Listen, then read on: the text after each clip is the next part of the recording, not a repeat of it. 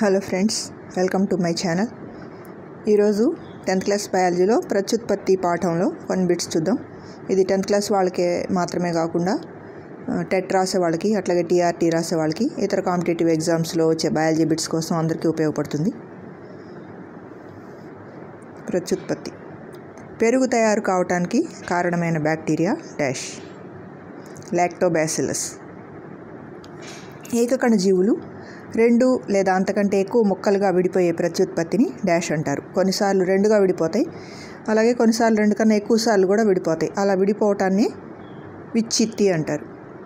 ఒక ఏకకణ జీవి రెండుగా విడిపోవడాన్ని డాష్ అంటారు. రెండుగా విడిపోతే ఏమంటారు? ద్విధా విచ్చిత్తి. అది కూడా విచ్చిత్తే ద్విధ అంటే రెండు భాగాలు అవుతుందని. ఒక ఏకకణ జీవి రెండు కంటే ఎక్కువ ముక్కలుగా విడిపోవడాన్ని డాష్ అంటారు. బహుధా విచ్చిత్తి. అనేక ముక్కలుగా విడిపోతే బహుధా విచ్చిత్తి. రెండు విచిత్తులోని రకాలు. ఇక్కడ చూడండి. ఈ పటంలో కనిపించేది మీకు అమీబా. అమీబాల ద్విధా విచ్చిత్తి ఎలా జరుగుతుంది అనేది ఇక్కడ కనిపిస్తుంది. ముందుగా మొదటి పటంలో మామూలు అమీబా ఉంది. రెండో పటంలో దానిలో కేంద్రకం పొడవుగా సాగింది. అలాగే అమీబా శరీరంలో మధ్యలో ఒక నొక్క ఏర్పడింది. తర్వాత మూడో పటంలో ఏమైంది? ఆ రెండు కేంద్రకాలు విడిపోయి దూరంగా జరిగాయి. నొక్కు కొంచెం దగ్గరకు వచ్చింది. నాలుగో పటంలో రెండు పిల్ల కేంద్రకాలు ఏర్పడినాయి అనమాట ఇది ఒక అమీబా నుంచి రెండు అమీబాలు ఏర్పడినాయి. ద్విధా విచ్చిత్తి అమీబాలో జరిగే అలైంగిక ప్రత్యుత్పత్తి పద్ధతి డాష్. ద్విధా విచ్చిత్తి ఇప్పుడు మీరు చూసింది. ఈస్ట్లో జరిగే అలైంగిక ప్రత్యుత్పత్తి డాష్. ఈస్ట్ అనేది ఒక శిలీంద్రం. దానిలో ఏం జరుగుతుంది? కోరకీ భవనం అనే ప్రత్యుత్పత్తి ద్వారా అవి కొత్త ఈస్టులు తయారవుతాయి. హైడ్రా ఈస్ట్ లా శరీరంపై ఏర్పడే బుడిపెల బుడిపే వంటి నిర్మాణాన్ని డాష్ అంటారు. హైడ్రాలోను ఈస్ట్లోను కూడా కోరకీ భవనమే జరుగుతుంది. వాటి శరీరం మీద చిన్న బుడిపె లాంటి నిర్మాణం ఏర్పడుతుంది. దాన్నే కోరకము అని అంటారు. ఈ డయాగ్రామ్లో చూడండి.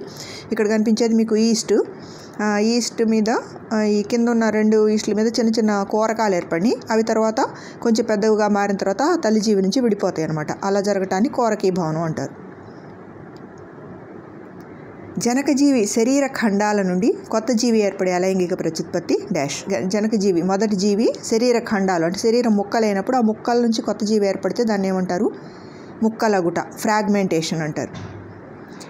ముక్కలగుట ద్వారా ప్రత్యుత్పత్తి జరిపే జీవులకు ఉదాహరణ డాష్. బద్దెపురుగులు మోల్డులు లైకెన్స్ స్పైరోగైరా మొదలైనవి. ఇంకా చాలా ఉంటాయి ప్రాథమిక జీవులు అనమాట ఫలదీకరణ లేకుండా నేరుగా సంయోగ బీజాల నుంచి కొత్త జీవి ఏర్పడే పద్ధతి డాష్. అనిషేక జననం ఫలదీకరణ జరగకుండా సంయోగ బీజాల నుంచే కొత్త జీవులు ఏర్పడతాయి అన్నమాట ఇక్కడ చూడండి స్పైరోగైరా కనిపిస్తుంది మీకు లెఫ్ట్ సైడ్లో. స్పైరోగైరా ఒకే తంతువు కనిపిస్తుంది. అది రెండో నెక్స్ట్కి వచ్చినప్పుడు fragment one fragment two fragment three మూడు ముక్కలైంది. మళ్ళీ ఒక్కొక్క ముక్క కూడా కొత్త స్పైరోగైరాగా పెరుగుతుందనమాట ఫ్రాగ్మెంటేషన్ జరుగుతుంది స్పైరోగైరాకు ఒక ఉదాహరణ అది. స్పైరోగైరాలో. కొన్ని కీటకాలలో ఫలదీకరణం చెందిన అండాలు డాష్ జీవులుగా ఫలదీకరణం చెందని అండాలు డాష్ జీవులుగా అభివృద్ధి చెందుతాయి. ఇప్పుడు చెప్పుకున్న మనం అనిషేక జననంలో అండాలు ఫలదీకరణ చెందితే స్త్రీ జీవులుగా డెవలప్ అవుతాయి. ఫలదీకరణ చెందని అండాలు పురుష జీవులుగా డెవలప్ అవుతాయి అనమాట ఫలదీకరణ చెందినప్పుడు ఏమవుతుంది? ద్వయస్థితిక దశలో ఉంటాయి. ఫలదీకరణ చెందనివి ఏకస్థితిక దశలో ఉంటాయి అన్నమాట. ఫలదీకరణం జరగకుండా అండాశయం నేరుగా ఫలంగా మారటాన్ని డాష్ అంటారు. ఇది మొక్కల్లో జరిగేది. అనిషేక ఫలనం పార్థనోకార్పి అంటారు.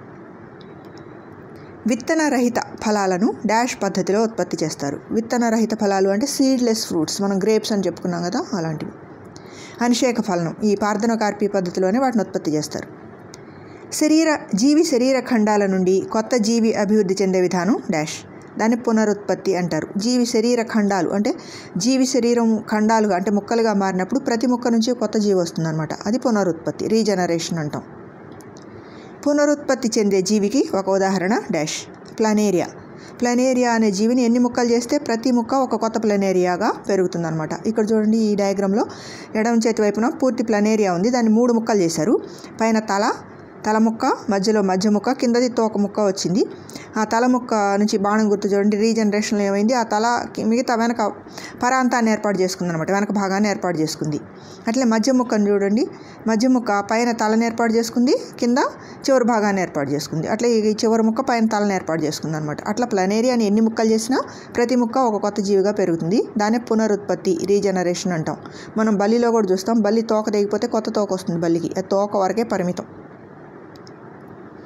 శాఖీయ వ్యాప్తి మొక్కల్లో జరిగేది శాఖీయ వ్యాప్తి అలైంగిక ప్రత్యుత్పత్తిలో ఇదొక విధానం అనమాట మొక్కలలో శాఖీయ భాగాలు డాష్. వేర్లు కాండం పత్రాలు ఈ మూడింటిని శాఖీయ భాగాలు అంటారు. పుష్పాన్ని ప్రత్యుత్పత్తి భాగం అంటాం. మొక్కలలో శాఖీయ భాగాల ద్వారా జరిగే ప్రత్యుత్పత్తిని డాష్ అంటారు. ఒకవేళ ఈ శాఖ ఇప్పుడు చెప్పుకున్న వేర్ల ద్వారా కాండం ద్వారా పత్రాల ద్వారా కొత్త మొక్కలు వచ్చినట్లయితే అలాంటి ప్రత్యుత్పత్తిని శాఖీయ వ్యాప్తి లేదా శాఖీయ ప్రత్యుత్పత్తి వెజిటేటివ్ ప్రాపగేషన్ అంటాం. పత్రాల ద్వారా శాఖీయ వ్యాప్తి జరిగే మొక్కలకు ఉదాహరణ డాష్. అంటే పత్రాలు ఆకుల నుండే కొత్త మొక్కలు ఏర్పాటు అవుతాయి అన్నమాట ఉదాహరణకు రణపాల అలాగే బిగోనియా కూడా ఉంది. కాండం ద్వారా శాఖీయ వ్యాప్తి జరిగే రన్నర్స్కు ఉదాహరణ డాష్. రన్నర్స్ అంటే నేల మీద ఇట్లా కాండమే పాకుతూ వేళను ఏర్పాటు చేసుకుంటూ వెళ్తుంది కదా? పులిచింత సరస్వతి ఆకు. ఇది రణపాల. ఆ ఆకు ఆ ఆకు మీదనే ఆకు నొక్కులు నొక్కులు నొక్కులుగా ఉంది. ఆ నొక్కుల్లోనే చిన్న చిన్న కూరకాయలాగా వచ్చి వాటి నుంచి కొత్త మొక్కలు ఏర్పాటు అవుతున్నాయి అన్నమాట. లీఫ్ బడ్స్ అని రాస్తుంది చూడండి. స్టోలన్స్కు ఉదాహరణ డాష్. ఇవి కూడా కాండం ద్వారా ప్రత్యుత్పత్తి జరిపేవి. మల్లె స్ట్రాబెర్రీ. అట్లాగే లసునాలకు ఉదాహరణ. ఉల్లి ఉల్లిపాయ అనేది లసునం బల్బ్ అంటాం. వేర్ల ద్వారా శాఖీయ వ్యాప్తి జరిపే మొక్కలకు ఉదాహరణ డాష్ అంటే వేళ్ళ నుంచి కొత్త మొక్కలు వచ్చే ఇవి కరివేపాకు జామ బొండుమల్లె. కరివేపాకు మీకు అందరికీ తెలిసే ఉంటుంది. వేళ్ళ నుంచి కొత్త మొక్కలు పైకి వస్తూ ఉంటాయి. గులాబీ మందారాలలో కొత్త మొక్కలు డాష్ నుండి ఏర్పడతాయి. ఛేదనాలు కటింగ్స్. మనం గులాబీ కొత్త మొక్క కావాలన్నా మందార కావాలన్నా ఒక ముదిరిన కొమ్మని చూసి విరిచి దాన్ని మనం నేలలో పాతినట్లయితే కొత్త మొక్క వస్తుంది అనమాట అలా మనం దేనైతే విరుస్తామో దాన్నే ఛేదనం అంటాం కటింగ్స్. మల్లె గన్నేరు వంటి మొక్కలలో డాష్ ద్వారా కొత్త మొక్కలను ఉత్పత్తి చేయవచ్చు. అంటు తొక్కటం ద్వారా లేయరింగ్ అంటారు. అంటు తొక్కటం మీకు అందరికీ తెలిసే ఉంటుంది. పొడవుగా పెరిగిన కొమ్మని కొంచెం నే వంచి నేలలో ఉంచి మట్టి వేసి గట్టిగా తొక్కటం అనమాట అంటు తొక్కటం. రెండు మొక్కల కాండాలను కలిపి కట్టడం ద్వారా ఒకే మొక్కను ఏర్పరిచే విధానాన్ని డాష్ అంటారు. అంటు కట్టుట గ్రాఫ్టింగ్. అంటు తొక్కటం వేరు అంటు కట్టడం వేరు. అంటు కట్టడం అంటే రెండు మొక్కలు అవసరం. నేలలో భూమిలో ఉండేది ఒక మొక్క ఉంటుంది. దానిపైన మనకి ఎలాంటి లక్షణాలు అయితే కావాలనుకున్నామో అలాంటి లక్షణాలు ఉన్న మొక్క కొమ్మని కట్ చేసి ఆ రెండింటిని కలిపి కట్టడం ద్వారా కొత్త మొక్క వస్తుందన్నమాట. గ్రాఫ్టింగ్. అంటు కట్టే విధానంలో నేలలో ఉండే మొక్కను డాష్ అని వేరే మొక్క నుండి తీసుకున్న భాగాన్ని డాష్ అని అంటారు. నేలలో ఉండే మొక్కని స్టాక్ అంటారు. పైన మనం వాంఛిత లక్షణాలు ఉన్న మొక్క మొక్కని కడతాం అనుకున్నాం కదా దాన్ని సయాన్ అంటారు. వాంఛనీయ లక్షణాలు గల మొక్కలను పొందటానికి ఉపయోగించే పద్ధతి డాష్. అంటుకట్టుట. మనకి పండ్లలో ఎక్కువగా సపోటా జామ ఇలాంటివి అంట్లు అంటారు. అమ్మేటప్పుడు కూడా జామ అంట్లు అని అమ్ముతారు కదా అలా అంటు కట్టడం ద్వారా మనకు కావాల్సిన లక్షణాలు ఉన్న మొక్కని మనం ఎన్నుకోవచ్చు అనమాట ఎక్కువ సంఖ్యలో మొక్కలను తక్కువ కాల వ్యవధిలో పెంచడానికి డాష్ ఉపయోగపడుతుంది. ఏ పద్ధతి ఉపయోగపడుతుంది? చాలా ఎక్కువ మొక్కలు కణజాల వర్ధనం టిష్యూ కల్చర్లో ఒక కణం నుంచి కానీ కొంత కణజాలం నుంచి కానీ కొత్త మొక్కని డైరెక్ట్గా పెంచవచ్చు అనమాట ల్యాబ్లో జరిగేది అది.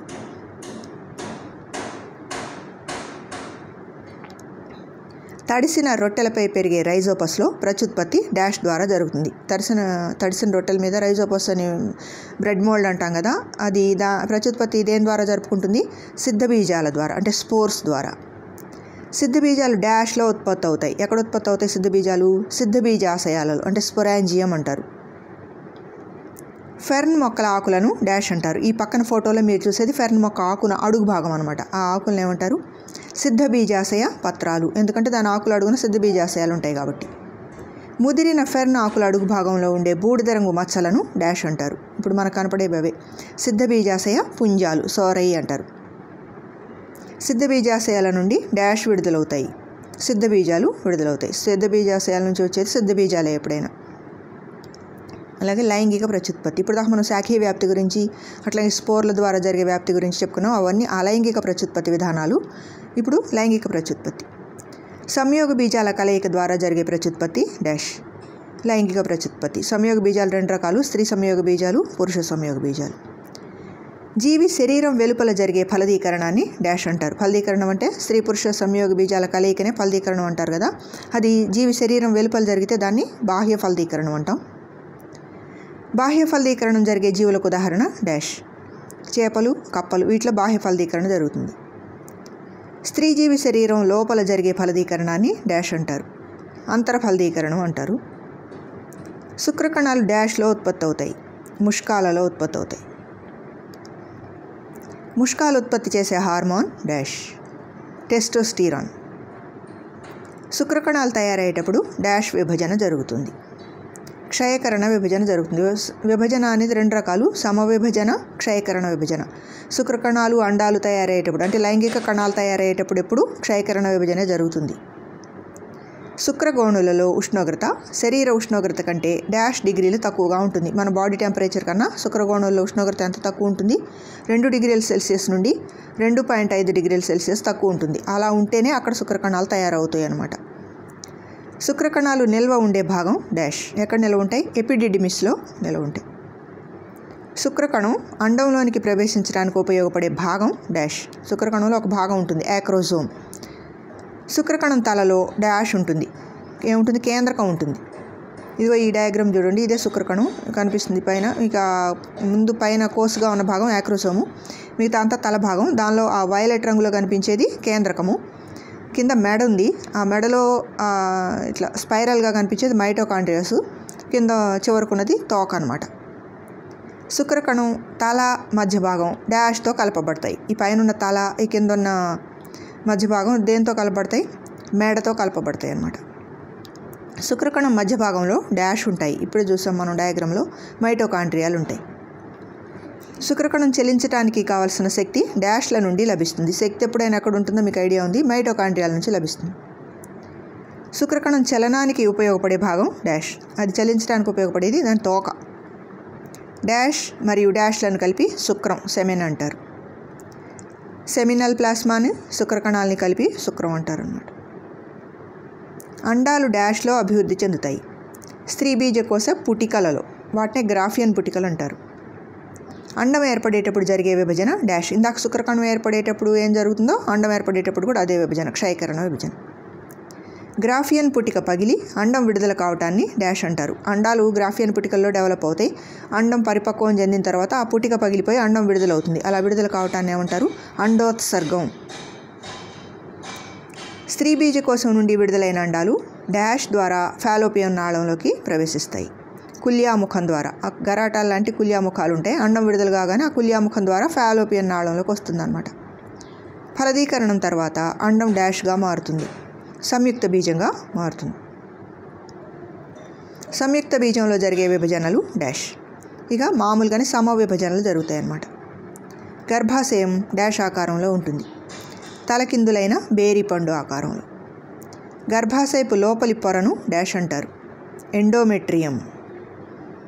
పిండాన్ని ఆవరించి ఉండే బాహ్య త్వచాన్ని డాష్ అంటారు. పిండం ఏర్పడిన తర్వాత కొన్ని పొరలు ఉంటాయి పిండం చుట్టూ. అన్నిటికన్నా బయట ఉన్న త్వచాన్ని పరాయువు అంటారు కోరియాన్. పరాయువు కణజాలం దానికి ఆనుకొని ఉన్న గర్భాశయ కణజాలం కలిసి డాష్ ఏర్పరుస్తాయి. జరాయువు లేదా మాయ ప్లాసెంటా అంటారు. గర్భధారణ జరిగిన డాష్ వారాలకు జరాయువు ఏర్పడుతుంది. ఈ మాయ లేదా ప్లాసెంటా అనేది పన్నెండు వారాలకు ఏర్పడుతుంది. పిండానికి చుట్టూ తనంతట తానే ఏర్పడే త్వచం డాష్. ఇంకో త్వచం ఉల్బం ఆమ్నియా అని అంటారు. అది దానంతటదే ఏర్పడుతుంది. పిండం యొక్క ఆహార నాళం నుంచి ఆహార నాళం నుండి ఉద్భవించే త్వచం. ఆహార నాళం నుంచి ఒక త్వచం డెవలప్ అవుతుంది. అది అళిందం అలంటాయిస్. పిండాన్ని జరాయువుతో కలిపే నాళాన్ని డాష్ అంటారు. ఇందాక జరాయువు పన్నెండు వారాలకు ఏర్పడుతుంది అనుకున్నాం కదా దాన్ని జరాయువుతో పిండాన్ని కలిపేది నాభిరజ్జువు అంబెలికల్ కార్డ్ బొడ్డు తాడు అంటారు మామూలు భాషలో. గర్భధారణ జరిగిన తర్వాత మూడు నెలల నుండి పిండాన్ని డాష్ అంటారు. భ్రూణం అంటారు ఫీటస్. పిండం పూర్తిగా అభివృద్ధి చెందడానికి పట్టే కాలాన్ని డాష్ అంటారు. గర్భావధి గెస్టేషన్ పీరియడ్ అంటారు కదా. మానవ గర్భావధి కాలం డాష్ రోజులు రెండు వందల ఎనభై రోజులు. అంటే తొమ్మిది నెలలు అంటారు కదా మామూలుగా తొమ్మిది నెలలు అంటే రెండు వందల డెబ్బై రోజులు ప్లస్ ఇంకొక పది రోజులు ఎక్కువ అనమాట ఇక మొక్కలలో లైంగిక ప్రత్యుత్పత్తి. సాధారణంగా పుష్పించే మొక్కలలో డాష్ ప్రత్యుత్పత్తి జరుగుతుంది. లైంగిక ప్రత్యుత్పత్తి పుష్పాలు ప్రత్యుత్పత్తి భాగాలని చెప్పుకున్నాం కదా లైంగిక ప్రత్యుత్పత్తి జరిగేది పుష్పించే మొక్కల్లో మాత్రమే. పుష్పంలో ప్రత్యుత్పత్తి భాగాలు డాష్. కేసరావళి అండకోసం పుష్పంలో ముఖ్యంగా మనం రక్షక పత్రావళి ఆకర్షణ పత్రావళి కేసరావళి అండకోసం చెప్పుకుంటాం. అందులో కేసరావళి అండకోసం మాత్రమే ప్రత్యుత్పత్తి భాగాలు. ఏదో ఒక ప్రత్యుత్పత్తి భాగాన్ని మాత్రమే కలిగి ఉన్న పుష్పాలను డాష్ అంటారు. అంటే ఈ కేసరావులు కానీ అండకోశం కానీ ఏదో ఒకటి మాత్రమే ఉంటే వాటిని ఏకలింగ పుష్పాలు అంటారు. Dash dash. ఈ రెండింటిని కలిగి ఉన్న పుష్పాలను ద్విలింగ పుష్పాలు అంటారు. కేసరావళి అండకోశం. రెండు ఉంటే ద్విలింగ పుష్పాలు ఏదో ఒకటి మాత్రమే ఉంటే ఏకలింగ పుష్పాలు. పరాగ కోశాలలో డాష్ ఉత్పత్తి అవుతాయి పరాగ రేణువులు ఉత్పత్తి అవుతాయి వాటి నుంచి పురుష బీజ కణాలు. పుష్పంలో పరాగరేణువులను స్వీకరించే భాగం డాష్. పరాగరేణువుల్ని పట్టుకునేది కీలాగ్రం అనమాట పురుష బీజ కణాలు డాష్ ద్వారా ప్రయాణిస్తాయి. కీలం ద్వారా. మనం పుష్పాన్ని చూసినట్లయితే అందులో అండకోశంలో కీలం ఉంటుంది. ఆ కీలం ద్వారా ప్రయాణిస్తాయి. పరాగరేణువులు డాష్ను చేరడాన్ని పరాగ సంపర్కం అంటారు. దేని చేరటాన్ని? కీలాగ్రాన్ని చేరటాన్ని. ఒక పుష్పంలోని పరాగరేణువులు అదే పుష్పంలోని కీలాగ్రాన్ని చేరటాన్ని డాష్ అంటారు. స్వపరాగ సంపర్కం సెల్ఫ్ పాలినేషన్ అంటారు. ఆత్మపరాగ సంపర్కం అన్న అదే. స్వపరాగ సంపర్కం జరగని మొక్కలలో డాష్ జరుగుతుంది. పరపరాగ సంపర్కం క్రాస్ పాలినేషన్ జరుగుతుంది. అంటే స్వ ఒక పుష్పంలోని పరాగ రేణువులు అదే పుష్పంలో కాకుండా అదే మొక్క మీద ఉన్న వేరే పుష్పంలోని కీలాగ్రాన్ని కానీ లేదా వేరే మొక్క మీద ఉన్న పుష్పంలోని కీలాగ్రాన్ని కానీ చేరితే దాని పరపరాగ సంపర్కం అంటాం. పరాగరేణువు మొలకెత్తినప్పుడు డాష్ ఏర్పడుతుంది. పరాగనాళం పరాగనాళంలో రెండు డాష్ ఉంటాయి. పురుష బీజ కేంద్రకాలు ఉంటాయి అండం డాష్ సహాయంతో అండాశయానికి అంటుకుని ఉంటుంది. అండాశయం లోపల అండాలు దే దేని సహాయంతో అంటుకుని ఉంటాయి? అండవృంతం ఇక్కడ చూడండి. మీ డయాగ్రామ్ గమనించండి. పిండకోశం పటం ఇది. పుష్పించే మొక్కల పిండకోశంలో డాష్ కణాలు డాష్ కేంద్రకాలు ఉంటాయి. ఈ పటం గమనించినట్లయితే మీకు పైన మూడు గ్రీన్ కలర్లో కణాలు ఉన్నాయి కింద రెండు ఆరెంజ్ ఒకటి ఎల్లో మూడు కణాలు ఉన్నాయి మధ్యలో ఒక కణం ఉంది. మొత్తం మూడు మూడు ఆరు ఒకటి ఏడు కణాలు ఉన్నాయి కేంద్రకాలు చూసినట్లయితే పై మూడు కణాల్లో మూడు కేంద్రకాలు ఉన్నాయి కింద మూడు కణాల్లో మూడు కేంద్రకాలు ఉన్నాయి మధ్యలో కణంలో రెండు కేంద్రకాలు ఉన్నాయి మొత్తం మూడు మూడు ఆరును రెండు ఎనిమిది. కాబట్టి పుష్పించే పిండకోశంలో ఏడు కణాలు ఉంటాయి కేంద్రకాలు మాత్రం ఎనిమిది ఉంటాయి. పిండకోశం పై భాగంలో ఉన్న పోషణకు తోడ్పడే కణాలు డాష్. ఇక్కడ చూడండి గ్రీన్ కలర్లో ఉన్నాయి కదా మీకు? అవి ప్రతిపాద కణాలు యాంటీపోడల్స్ అంటారు. పిండకోశంలో పరాగనాళం ప్రవేశించే మార్గానికి దగ్గరలో ఉన్న మూడు కణాలు డాష్. ఈ కింది వైపున పరాగ నాళం ప్రవేశించడానికి ఒక మార్గం ఉంది. మీకు ఇక్కడ అక్షరం బి అనే అక్షరం వచ్చింది అక్కడ ఉన్న మూడు కణాలు ఏమేంటి? ఒక స్త్రీ బీజ కణం రెండు సహాయ కణాలు. ఇందులో ఈ మధ్యలో ఎల్లో కలర్లో ఉంది స్త్రీ కణం. దానికి పైన ఆరెంజ్ కలర్లో ఉన్నాయి రెండు కూడా సహాయక కణాలు సినర్జిడ్స్ అంటారు. పిండకోశం మధ్య భాగంలో ఉండే కణం డాష్. కనపడుతుంది మీకు వైలెట్ కలర్లో ఉన్నది. ద్వితీయ కేంద్రకం. పురుష బీజకణం స్త్రీ బీజకణంతో కలవటం వల్ల డాష్ ఏర్పడుతుంది. ఇక్కడ స్త్రీ బీజకణం ఉంది కదా ఇందాక మనం పరాగనాళంలో రెండు పురుష బీజ కేంద్రకాలు ఉంటాయి అనుకున్నాం కదా అందులో ఒకటి ఈ స్త్రీ బీజకణంతో కలుస్తుంది. దానివల్ల ఏం ఏర్పడుతుంది? సంయుక్త బీజం ఏర్పడుతుంది. పురుష బీజకణం ద్వితీయ కేంద్రకంతో కలవటం వల్ల డాష్ ఏర్పడుతుంది. మధ్యలో ద్వితీయ కేంద్రకం ఉంది కదా ఇందాక పరాగనాళంలో ఉన్న రెండు పురుష కేంద్రకాల్లో ఒకటి స్త్రీ బీజకణంతో సంయోగం చెంది సంయుక్త బీజం ఏర్పడుతుంది. రెండోదేమో ద్వితీయ కేంద్రకంతో కలవటం వల్ల అంకురచ్ఛదం ఎండోస్పెర్మ్ ఏర్పడుతుంది అనమాట మొక్కలలో రెండుసార్లు ఫలదీకరణం జరగటాన్ని డాష్ అంటారు. ద్విఫలదీకరణం డబుల్ ఫెర్టిలైజేషన్ అంటారు. ఫలదీకరణం తర్వాత సంయుక్త బీజం అనేక విభజనలు చెంది డాష్ ఏర్పడుతుంది పిండం ఏర్పడుతుంది. సంయుక్త బీజంలో జరిగేది ఎప్పుడు? సమవిభజనలే. పిండం చుట్టూ దృఢమైన కవచం ఏర్పడి డాష్గా మారుతుంది. విత్తనంగా. పిండం చుట్టూ గట్టి పొరలు ఏర్పడటం వల్ల అదే విత్తనంగా మారుతుందన్నమాట. పుష్పంలో ఫలంగా మార్పు చెందే భాగం డాష్. పుష్పంలో ఇందాక మనం నాలుగు భాగాలు చెప్పుకున్నాము. వాటిలో ఏ భాగం ఫలంగా మారుతుంది? కాయగా? అండాశయం. తర్వాత కణ విభజన. కొత్త కణాలు ముందు తరం కణాల నుండే ఉత్పన్నమవుతాయి అని చెప్పిన శాస్త్రవేత్త డాష్ విర్చో. కణ విభజన సమయంలో కేంద్రకంలోని దారపు పోగుల వంటి నిర్మాణాలు నిలువుగా చీలుతాయి అని చెప్పిన శాస్త్రవేత్త డాష్ వాల్టర్ ఫ్లెమింగ్ పద్దెనిమిది వందల డెబ్బై తొమ్మిదిలో చాలా విషయాలు కణ విభజన గురించి ఈయన ప్రతిపాదించారనమాట క్రోమోజోములు జతలుగా ఉంటాయని తెలిపిన శాస్త్రవేత్త డాష్. ఇది కూడా వాల్టర్ ఫ్లెమింగే. సమ విభజన అంటే మైటాసిస్ను గురించి మొదటగా చెప్పిన శాస్త్రవేత్త వాల్టర్ ఫ్లెమింగ్. చాలా విషయాలు ఏం చెప్పారు. మైటాస్ అంటే డాష్ అని అర్థం. సన్నని దారాలు. క్రోమోజోములకు ఆ పేరు రావటానికి కారణం డాష్. క్రోమోజోములు అని ఎందుకన్నారు? రంజనం చేసినప్పుడు అవి వేరువేరు రంగుల్లో కనిపించడం. మనం ఏదైనా కనిపించడం కోసం కలర్ వేస్తాం కదా స్టెయినింగ్ అంటాం. స్టెయిన్ రంజకం వేసినప్పుడు ఆ క్రోమోజోములు రకరకాల రంగుల్లో కనిపించినాయి మొదటి శాస్త్రవేత్తలకి. అందుకని వాటికి క్రోమోజోములని పేరు పెట్టారు. క్రోమోజోములు అనువంశికతకు కారణమైన అంశాలను అంటే జన్యువులను కలిగి ఉంటాయి అని చెప్పిన శాస్త్రవేత్త విల్హెల్మ్ రౌక్స్. జన్యువులు జీన్స్ కదా ఆ జీన్స్ అనేవి అనువంశికత కారణం అవుతాయి అవి ఎక్కడ ఉంటాయంటే క్రోమోజోముల మీద ఉంటాయి. ఆ సంగతి మొదట చెప్పింది విల్హెల్మ్ రౌక్స్. మానవులలో ప్రతి కణంలోనూ ఉన్న క్రోమోజోముల సంఖ్య డాష్. మన శరీరంలో ఉన్న ప్రతి కణంలో క్రోమోజోములు సమానంగానే ఉంటాయి ఖచ్చితమైన సంఖ్యలో. ఎంత అది? నలభై ఆరు లేక ఇరవై మూడు జతలు. ఇరవై మూడు జతలు అని చెప్తాం. క్రోమోజోములు జతలుగా ఉంటాయని చెప్పాడు కదా ఆయన. అండం లేదా శుక్రకణంలోని క్రోమోజోముల సంఖ్య డాష్. ఇరవై మూడే. ఇందాక మనం ప్రతి కణంలో ఇరవై మూడు జాతలు ఉంటాయి అనుకున్నాం. అవి ద్వయస్థితిక దశలో ఉంటాయి శారీరక కణాలన్నీ కూడా. కానీ అండం శుక్రకణం అనేవి లైంగిక కణాలు కాబట్టి వాటిలో క్రోమోజోముల సంఖ్య సగమే ఉంటుంది. ఏకస్థితిక దశలో ఉంటాయి కాబట్టి ఇరవై మూడు జాతల్లో ఇరవై మూడు ఇరవై మూడు ఉంటాయి అన్నమాట. ఇక్కడ డిఎన్ఏ స్ట్రక్చర్ డిఎన్ఏ నిర్మాణం కుడి చేతి వైపున ఉంది చూడండి స్పైరల్ ఆకారంలో. అది మెలిదిప్పిన నిచ్చెన ఆకారంలో ఉంటుందన్నమాట. డబుల్ హెలిక్స్ స్ట్రక్చర్ దీన్ని. ఒక జాతి జీవులలో క్రోమోజోముల సంఖ్య ఎన్ని తరాలు మారినా నిర్దిష్టంగా ఉంటుంది అని చెప్పిన శాస్త్రవేత్త. అంటే ఏదైనా ఒక జాతి జీవులు తీసుకున్నట్లయితే ఎన్ని తరాలైనా క్రోమోజోములు ఇప్పుడు మానవుడు ఉన్నాడు మానవుల్లో క్రోమోజోముల సంఖ్య ఎన్ని తరాలు మారినా కానీ ఇరవై మూడు జాతులే ప్రతి కణంలో ఉండేది? అలానే ఉంటుంది అని చెప్పిన శాస్త్రవేత్త ఎవరు? August Weismann. పంతొమ్మిది వందల నాలుగులో క్షయకరణ విభజన గురించిన సమాచారాన్ని నిర్ధారించిన శాస్త్రవేత్త థియోడర్ బావెరీ. డిఎన్ఏ అనగా full form. Deoxyribonucleic acid. DNA నిర్మాణాన్ని కనుగొన్న శాస్త్రవేత్తలు ఇప్పుడు మీరు చూసిన పటంలో ఈ డబుల్ హెలిక్స్ స్ట్రక్చర్ ఉంది కదా అలా దాన్ని కనుక్కున్నది James Watson and Francis Crick. సమ విభజన డాష్ కణాలలో జరుగుతుంది. ఏ కణాలలో జరుగుతుంది? శారీరక కణాలలో జరుగుతుంది.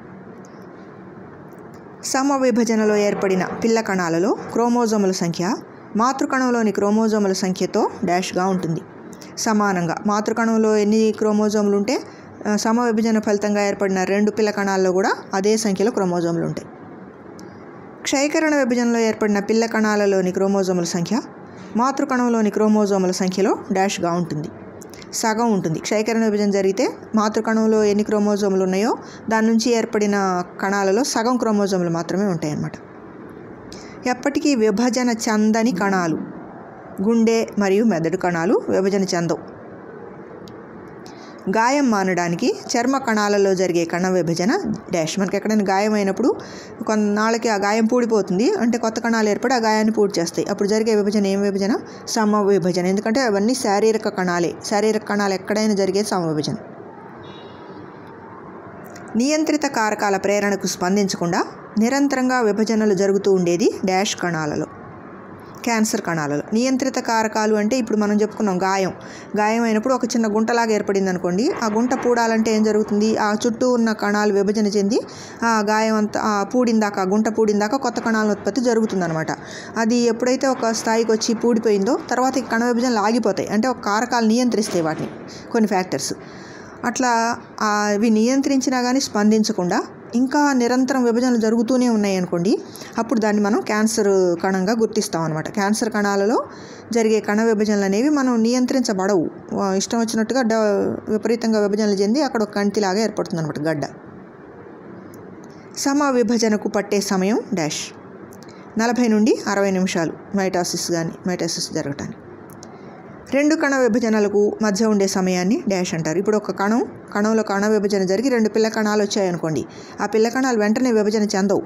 ఎందుకంటే దానిలోని కణాంగాలన్నీ మళ్ళీ డెవలప్ అయ్యి పెద్దవిగా మారాలి. అలా మార మారిన తర్వాతనే మళ్ళీ దాంట్లో కణ విభజన జరుగుతుంది. ఈ మధ్యలో ఉన్న కాలాన్ని ఏమంటారు? అంతర్దశ ఇంటర్ఫేస్ అంటారు. అంతర్దశలోని మూడు ఉపదశలు డాష్. ఈ అంతర్దశ మూడు దశలుగా విభజించబడింది. జీవన్ దశ ఎస్ దశ జీ టూ దశ. దేశ కాదు దశ. జీవన్ దశలో కణంలో జరిగే మార్పు. జీవన్ ఫస్ట్ స్టేజ్లో ఏం జరుగుతుంది? గ్యాప్ వన్ అని అర్థం. కణం పరిమాణం పెరుగుతుంది. ఇప్పుడే చెప్పుకున్నాం. కొత్త కణంలో అది సైజ్ పెరుగుతుంది అని. అది జీవన్. ఎస్ దశలో డాష్ సంశ్లేషణ జరుగుతుంది. ఎస్ అంటేనే సింథసిస్ అని. సింథసిస్ అంటే సంశ్లేషణ. ఏం సింథసిస్ జరిగేది? డిఎన్ఏ సంశ్లేషణ జరుగుతుంది అనమాట ఇంకా ఎస్ దశలో జరిగే మార్పు. ఏం మార్పు జరుగుతుంది? క్రోమోజోముల సంఖ్య రెట్టింపు అవుతుంది. రెండు పిల్ల కణాల్లోకి సమానంగా వెళ్ళాలి కాబట్టి ఒక్కొక్క క్రోమోజోమ్ చీలిపోయి రెండుగా మారుతుంది అన్నమాట డబుల్ అవుతాయి అవి. కణాంగాల విభజన డాష్ దశలో జరుగుతుంది. జీ టూ దశలో గ్యాప్ టూ దశలో కణాంగాలు కణంలో ఉన్న వివిధ భాగాలు విభజన చెందుతాయి. సమ విభజనలోని దశలు డాష్ డాష్ డాష్ డాష్ నాలుగు దశలు ఉంటాయి ప్రథమ దశ మధ్యస్థ దశ చలన దశ అంత్యదశ. డాష్ దశలో క్రోమోజోములు కుండలీకరణం చెంది దళసరిగా మారతాయి. స్టార్టింగ్లోనే ప్రథమ దశలో మారతాయి. కణంలో జరిగే మార్పు అది ఇక్కడ చూడండి క్రోమోజోము. రెండు బొమ్మలు ఉన్నాయి మీకు. ఈ ఎడం చేతి వైపు ఉన్న డయాగ్రామ్ సింగిల్ క్రోమోజోమ్ అంటే ఒక క్రోమోజోమ్. అది రెండుగా చీల్ రెండు క్రోమాటిడ్లుగా చీలుతుంది అనమాట ఈ రెండో పటంలో రెండు క్రోమాటిడ్లుగా చీలింది. మధ్యలో సెంట్రోమియర్ దగ్గర అంటిపెట్టుకొని ఉంటాయి ఆ రెండు క్రోమాటిడ్స్. ప్రథమ దశలో ప్రతి క్రోమోజోము నిలువుగా చీలటం వల్ల రెండు డాష్ ఏర్పడతాయి. ఏం ఏర్పడతాయి? క్రోమాటిడ్లు ఏర్పడతాయి.